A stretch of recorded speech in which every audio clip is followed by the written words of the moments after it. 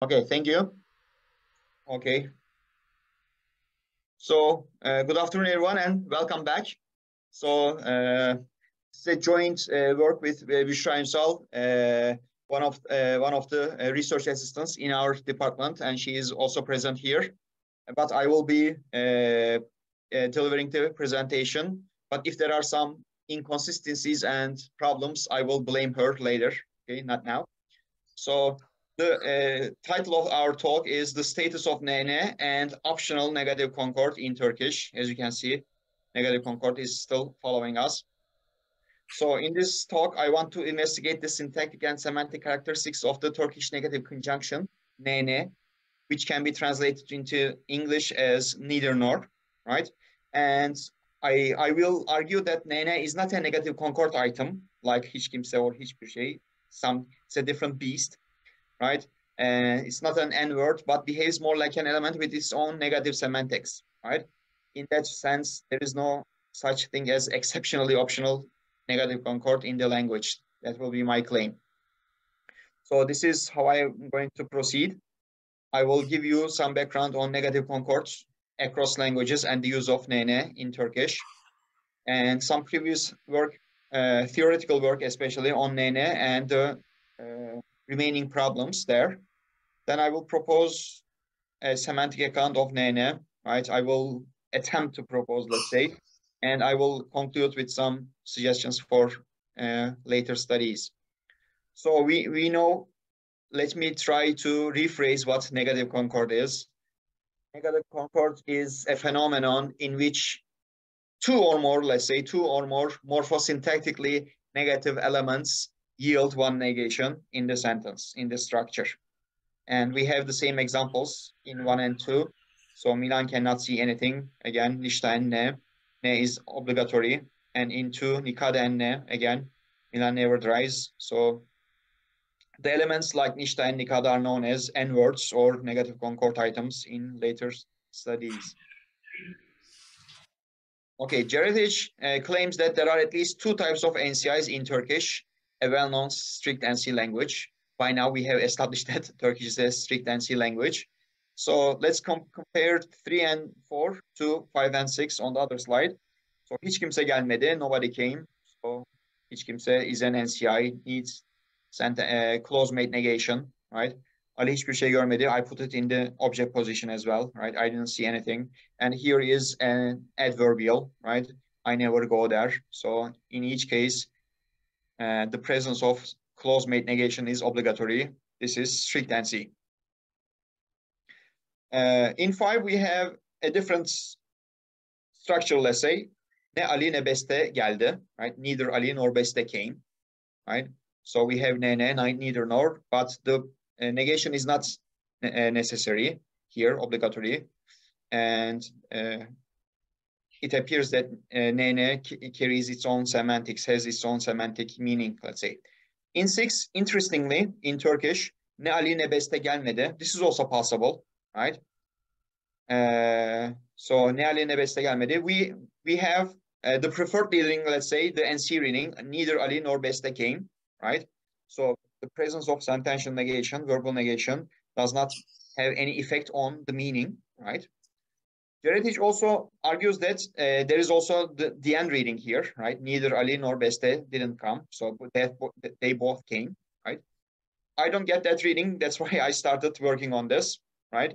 But he, her claim is that the difference between three and four and five and six is that an element like hiç kimse is an NCI, while the behavior of nene indicates hybridity. So we see both strict NC and non-strict NC of the Turkish NC system and optionality in the negative uh, concord. Optionality like optional, negation is optional. So hiç kimse, according to her, is a rigid quantifier type, right? Licensed by negation, but nene is type flexible, right? Type flexible. But the claim is that nene is like an NCI, is an NCI with some flexible capability, let's say ability. So I have put some arguments, counter arguments to his her claims, right? One one is that Nene is like other NCIs. The only difference is that it is type flexible. This is her And my counter argument will be here. NA appears in structures without the presence of sentential or any, uh, any type of negation, regardless of whether it conjoins phrasal or clausal elements, as in five, right? In contrast, NCIs always ne require negation. We know that by now. NA exhibits NCBI behavior only when it coordinates constituents that are not full clauses. That's her claim. So that's why he she calls this exceptional optional uh, negative concord in Turkish.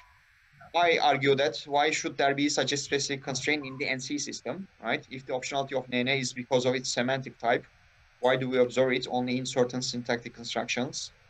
Right, this is my claim. I don't know if it makes sense or not. One would have to posit a syntactically driven semantic account then. Also, the optionality in Turkish NC system is like the optionality in languages like West Flemish, she says. So we have eight. That Valeria doesn't know anybody. So we have an N word, niemand. But the option, uh, the negation is optional here, as you can see, right, in parentheses. However, West Flemish is an NC language, but it belongs to a different subgroup, right? Belongs to non-proper NC languages. A story for another day, obviously. It, it, um, it independently requires movement of all NCIs out of the VP. So Niemand obviously moved out of the VP to a higher position. And the, therefore, the VP domain doesn't need to be under the scope of negation. So we have, that's why negation is optional in West Flemish. Uh, but this is not the case in Turkish, right? In West Flemish, the co-occurrence, or we, we don't see something like that in Turkish, let's say. In West Flemish, the co-occurrence of negation in sentences containing an NC is optional, not the neither nor construction. Uh, then I look at certain uh, syntactic structures. The syntactic and semantic behavior of NN indicates that it behaves more like an element that inherently has semantic content rather than being an NCI. Ne Ahmet ne Mehmet partiye geldi. Subject, right? Neither Ahmet nor Mehmet came to the party. Or 10, Ayşe invited neither Ahmet nor Mehmet to the party. So this is the object. Or Nene combining object and piece. In 11, we have Ayşe did her homework by getting help from neither Ahmet nor Mehmet. So Nene is in a in an adjunct clause. I put it in an adjunct clause. And as you can see, negation does not appear in each one. And 12, we have in 12, ne Ahmet dans etti, ne Mehmet müzik dinledi.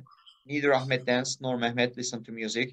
Nene, in this case, uh, combines uh, clauses, right? Elements uh, or structures as big as clauses.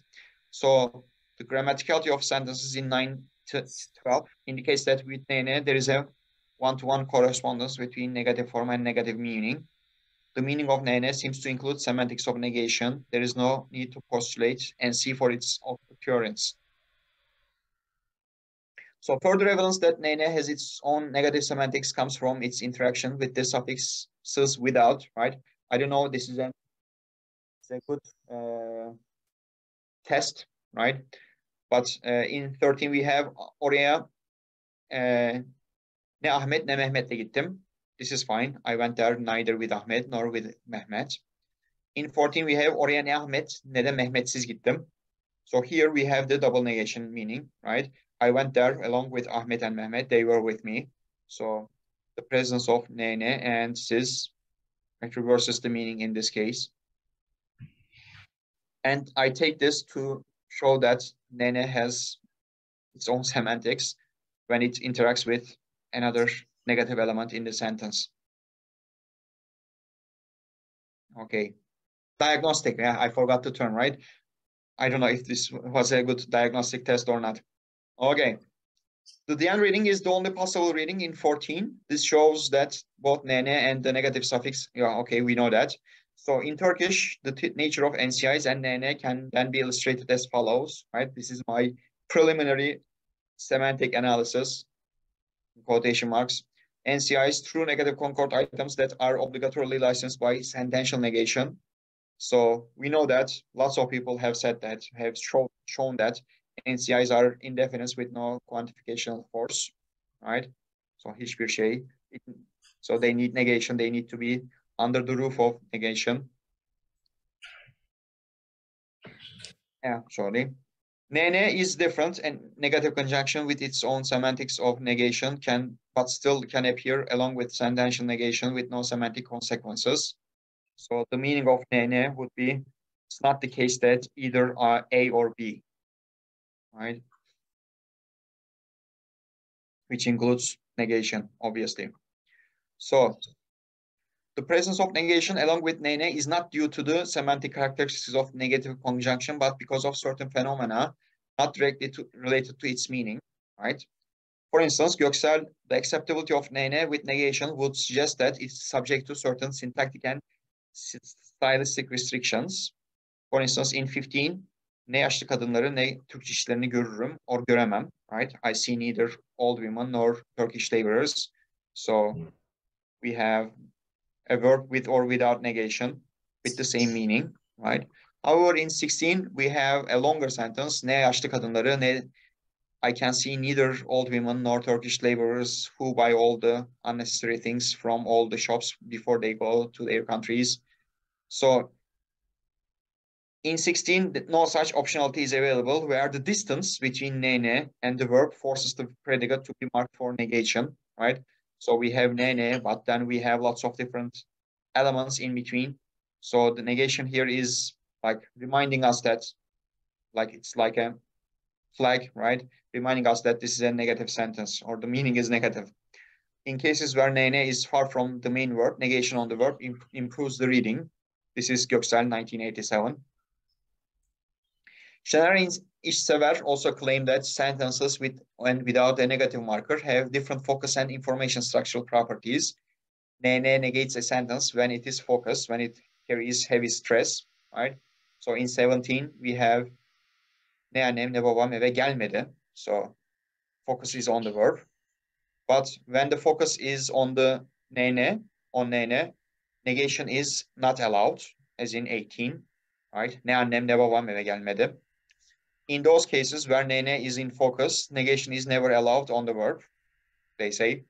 These two analyses, so I take these two analyses to not go against the idea that nene is negative and still may appear with negation.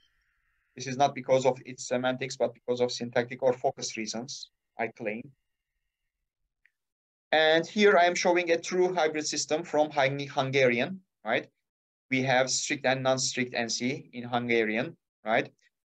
So in 18, we have no, no one, again, senki, our NCI, let's say, and Sentential negation is obligatory here. Without nem, without negation, the sentence would be ungrammatical, right? No one saw anything. And in 20, we have sankisem, right? No one saw anything. Here, we don't have, we can't have sentential negation, right? So it is, so if 19 is strict NC, 20 is non-strict NC. But here we have a different lexical item, right? It looks similar, but still something different we don't have this. We don't have this kind of difference in Turkish. Interestingly, Senki, no one, and Senki Sam, no one, nor are paralleled with two distinct neither nor constructions that I found, right? So in 21, Senki Nem Alut, no one slept, right? No one slept. So this is strict NC. We have negation, as you can see. So we have neither Kate nor Marie slept. Again, we need to have negation here. So strict see, particle Sam precedes the host meaning Sam precedes the noun phrase, noun phrases that it connects or combines, let's say. In 22, we have no one slept. Right? Sanki Sam Alut, no one slept. This is non-strict NC. Interestingly enough, we have neither Kate nor Marie slept. In this case, this is non-strict NC. Particle follows the host, right? Particle Sam follows the NPs that it combines, let's say. My argument is that none of these happening in Hungarian are observed in Turkish, right? So the hybrid system, a true hybrid system or a hybrid system is very different from what we have in Turkish. Another one, right? The negative conjunction nini in Spanish. Interestingly enough, nini is very similar to nene in Turkish, right? Also appears without sentential negation as shown in 23, right? Neither Juan nor Antonio came uh, we have, however, it can also occur with negation. Right? Neither Juan nor Antonio came. we have negation at the beginning. So this may raise the question whether negative conjuncts have a hybrid nature and whether they can optionally appear with negation in other languages like Turkish, right?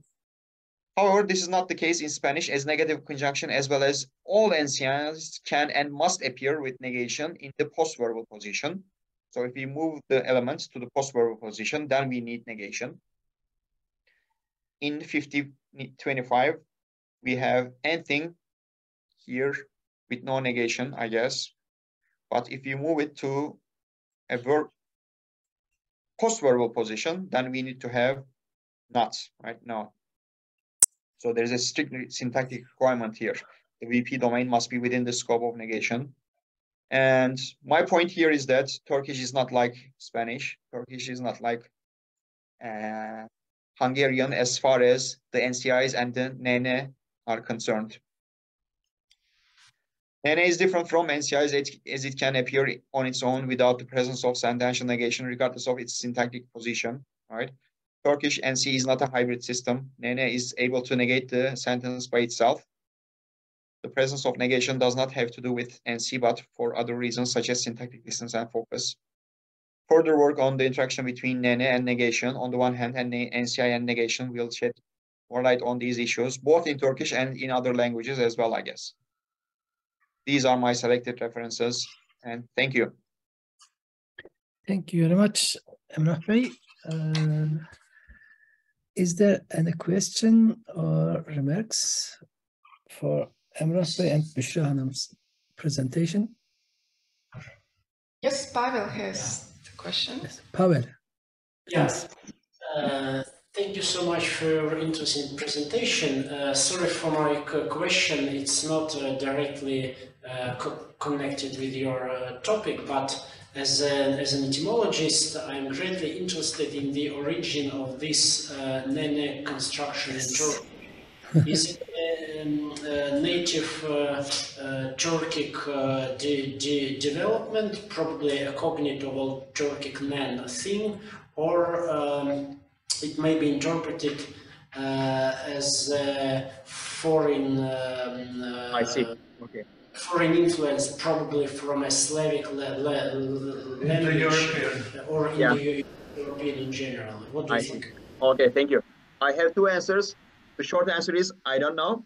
The long answer is I should know uh, because we have ne. Uh, it also means what, right? Regular. Uh, what did you do? Ne yaptın, right? So we have the same element. Uh, I should know more about this. I don't. Alas, I don't know. Right? I know a lot about the English etymology, but uh, for this one, but we have luckily Mehmet Ölmez hocam here, so I I I referred this question to him. Go ahead, please, uh, Mehmet hocam. Thanks. Actually, I like to ask similar question like Pavel. Uh, uh, Emrah uh, did you check also traditional grammars about ne and ne? Yeah, Uh, uh, uh, I, uh, I, I, I mean, uh, traditional grammars. I, I, I looked at uh, Kornfilt 1997 and Göksel and Ker- Kerslake two, uh, 2005. Uh, but uh, there is Lewis. There is others. Yeah. Yeah, Who should we cannot. uh, okay, we cannot mention uh, Göksel's grammar as traditional grammar. Uh, uh, the oldest traditional grammar belongs to Jean Deny. Ah, maybe you know Ah, okay. Deny. Uh, John there is Deny, yes. I will have a look. Thank you. Yes, uh, you are welcome. Two different translations to Turkish uh, and uh, exact uh, to the Kabalzi edition. After uh, page 602, there's 10 page examples, different Okay. examples. Uh, Okay. uh, very, uh, I will take different examples. And Yeah. uh, same time, uh, I have uh, asked to a student from mm, Afghanistan who can uh, compare Turkish and Persian very well. I have Uh-huh. asked him to following sentence. Ne sabahları ne de akşamları süt içerim. Ne Mhm. sabahları ne de akşamları süt içerim. He has translated it to uh, Persian like that. Ne subha şiir mi noşem ne şam ha. Uh, and uh, actually in Old Turkic, uh, the word ne is just a WH word. Uh, it is never a negation word. Uh, and uh, maybe with uh, with uh, with popular uh, uh, with popular term uh, copy word from Persian. We should compare it better with uh, Persian. It is more useful if you have time to compare uh, with uh, with a, a Persian grammar or some studies from Persian. Uh, it could be more useful. borrowed, borrowed word. Do, do you mean it's a borrowed word from loan word from Uh, Persian? It can be like that because Okay. in Old Turkic uh, or Middle Turkic we don't have a ne and ne. Uh-huh. Uh, instead of ne and ne in Uyghur uh, we have up, blah blah blah up. There's a word up. Uh, it can be also another uh, uh, Iranian word. This Okay. up and up. Yeah, yeah thank you very much. Me- Me- Mehmet Hocam, I have a question. Uh, the, the sentence you read in Persian, does it have negation in it? Yes. Ne subha shir mi noshem ne sham ha. Two times ne. Same as in Turkish. Uh, does, does it also have sentential negation or verbal negation, like on the verb? Uh, no, there is not uh, Okay. only ne. Only ne. Okay. Uh, Okay. It is a positive uh, sentence. Mi noshem. Mi noshem. I mean, syntactically positive, but semantically negative, right? Yes. Because Okay. of the ne. Ne is enough to make. Okay, this. thank you. Thank you very much. Yes, And I, I see two more hands. Uh, Dr. Bobaljik and Dr. Janhunen have Ah, questions, uh, I guess. and, uh, and uh, I guess first Juha or Juha, please. Okay. Uh, I just wanted to say we have in Hungarian this ne, nem. Uh, and it- I think Mm, uh, the most likely explanation is that they are also borrowings from Iranian. uh, So, mm, and this shem is of course a combination of ish and Uh-huh. ish. So, but they are also borrowing. So somehow these words uh, of this type ne, ni are easily borrowed. Also, this Russian ni, ni on, ni ana, is borrowed into several uh, uh, Eastern Finnic languages. So they seem to be easily borrowable. Uh-huh. And Jonathan? Uh, Uh, we nope, my a hand should not be up. Yeah, uh, we have a question uh, here. Alexander Mikhailovich. Well, I would Oh, like to know whether this negation is used only in written language or maybe not only in written language. Written Turkish, I mean. I see. So, yeah, uh, re- written, yeah, yeah, yeah. That's also something to look at. So I think they, they are using spoken language as well, right? Uh, uh, depending on whether there are other factors, right? I, I hear, I mean, I hear both, right? Uh, the, the point is, uh, regardless of whether you use nene with or with, without negation, right? Uh, the reading is always, right, negative meaning. So when- just because you have, and that was my point as well, just because you have negation at the end doesn't mean that the two elements like cancel out each other and you have a positive meaning, right? But yeah, I don't know. I, I haven't checked whether there is more uh, negative forms in spoken or written language. But thank you very much. That's also something to look at. Thank you. Mhm. Jonathan has a question. No, I, I, I don't. Sorry, I don't. I don't don't? have a hand up on my screen. Sorry. Okay, okay, sorry. Sorry, thank you. Um, And that's all I guess. mm, Yeah, No thank you. This was very useful to me. This was very productive and informative. Thank you very much, everyone. And this concludes the, this uh, session, I guess. Okay, thank you very much. Uh, Arjana, I guess there is not any more any question. And Yeah, thank you for, Th- Thank for you. all participants.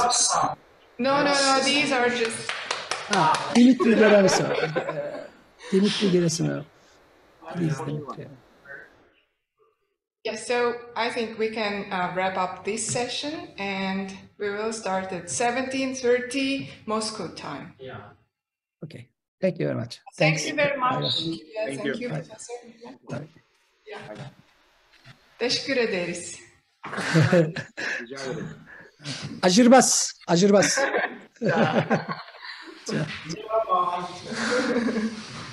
Merhaba.